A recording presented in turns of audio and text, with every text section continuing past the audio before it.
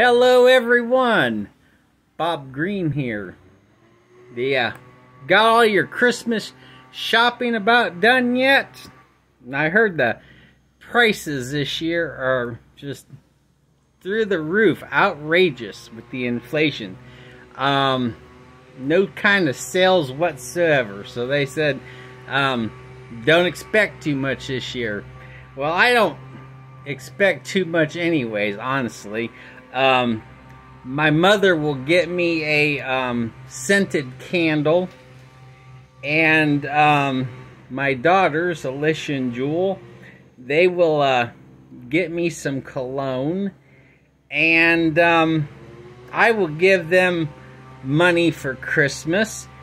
And um, I get a scented candle from my mom.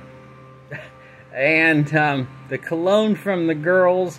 Um, you know, a couple of things I don't buy for myself. Um, but, um, you know, I, you know, it's, it's hard to get something for someone who has everything or has had everything.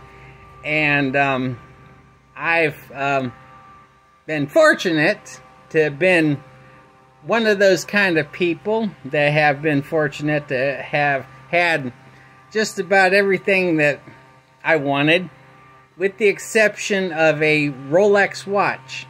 Never got me one of those Rolex watches.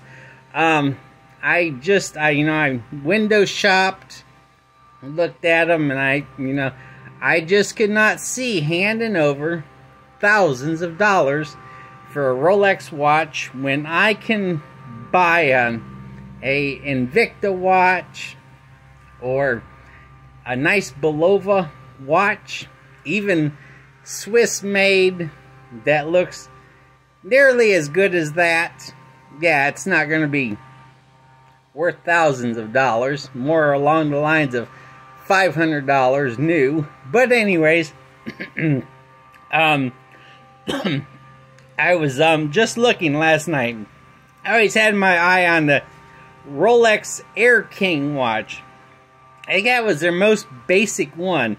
Just a plain stainless steel silver watch. Um, and, um, you know, if you guys are interested in getting me one of them, they're only about 10 grand. Um, I'd still appreciate it. Just joking. You guys have a blessed holiday season.